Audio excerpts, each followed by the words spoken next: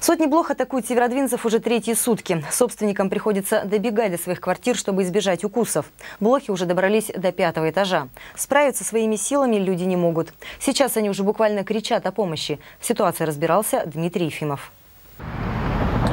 Это не карнавальный костюм. Буквально в такой защитной одежде приходится заходить в свой дом жильцам Первомайской 49. Сотни насекомых ежедневно атакуют квартирантов первого подъезда. Борьбе с ними не помогает даже сильнодействующая отрава.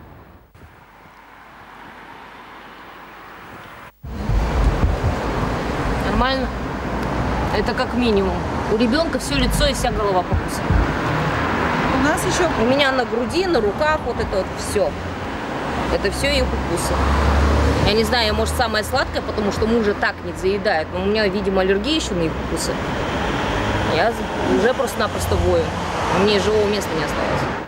В свой подъезд жильцы этого дома на Первомайской 49 буквально забегают. А Светлана покой не получает и дома, не может спать по ночам. От укусов сотен насекомых здесь страдают уже третий день. Ежедневно девушка вылавливает больше десятка вот таких существ. Но с каждым днем их число возрастает. не добираются и до пятого этажа. На пятом На этаже, пятом этаже, да. сосед вчера ковер выхлапывал, говорит, их там море сотни. По полу валяются мертвые. Ну, это они тоже обработали, море их там. Ни одна, ни две, это однозначно.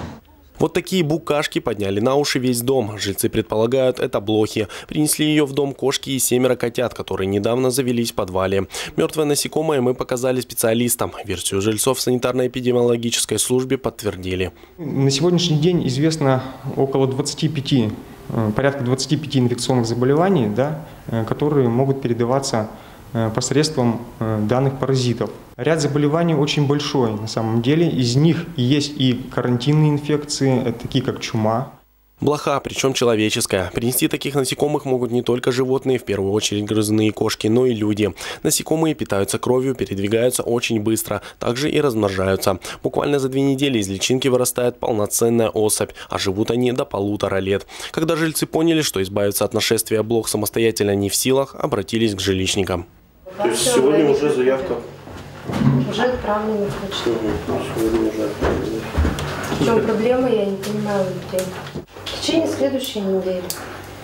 Все То есть ясно. обработка будет произведена.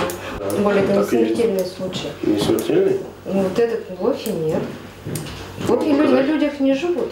Не живут? Люди на людях не живут, они только покусывают. Все. Выходит, покусывание сотен насекомых жильцам придется терпеть все выходные. Тем временем от одного из обитателей дома уже съехала жена. Она работает в детском саду и боится принести насекомых в группу. Сам он таксист, признает, что блохи перебрались в машину. Так что затягивать дезинсекцию нельзя ни в коем случае, считают жильцы. Иначе блохи перекочуют уже в соседний подъезд. Дмитрий Ефимов, Александр Сенков, Вестник Северодвинска.